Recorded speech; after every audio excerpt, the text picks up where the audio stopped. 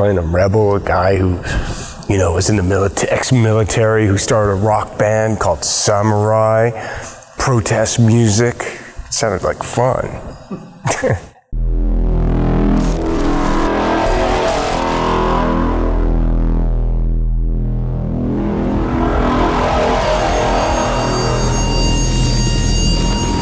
Wake the f up, samurai.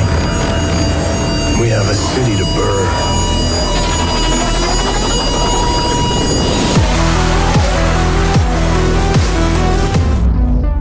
I met with CD Projekt Red in July of last year, uh, 2018, um, here in Los Angeles, and they uh, showed me a, a, short demo and introduced me to the idea of um, playing the character Johnny Silverhand. And so they walked me through the concept of the game and some of the elements and the biography of the character, and uh, it sounded great to me, you know. I'm not a Johnny Silverhand lore expert. At the original time, I read a little bit, but for them, they weren't, they were like, be here now, like, this is what we're doing. So maybe I need to brush up on that, but I don't know how much I'm at liberty to say. I think it's okay to say that there was a moment of maybe death. um, and, but I'm still around.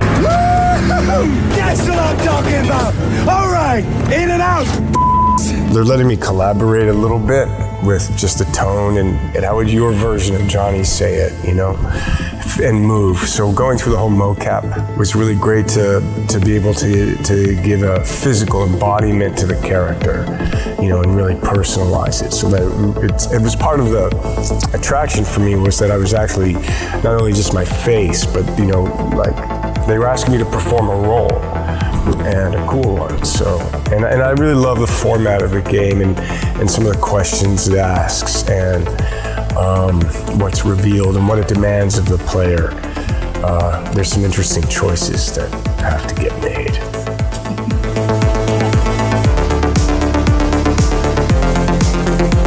For me, uh, the technology of motion capture has gotten a little quicker. It's a little, you know, sometimes it's a little like when I first did face capture.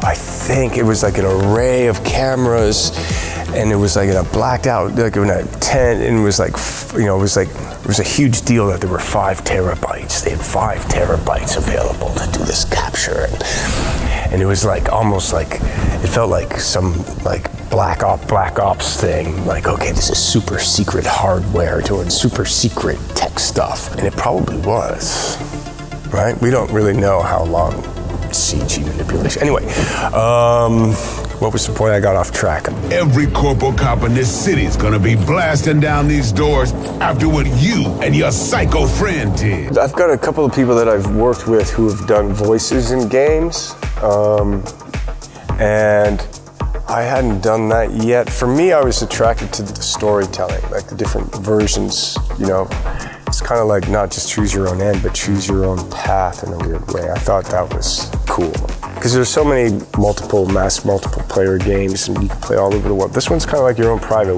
almost cinematic experience. Even reading, it's almost like literature in a weird way, right? Like you're participating in this open world, but it's your story, your choices.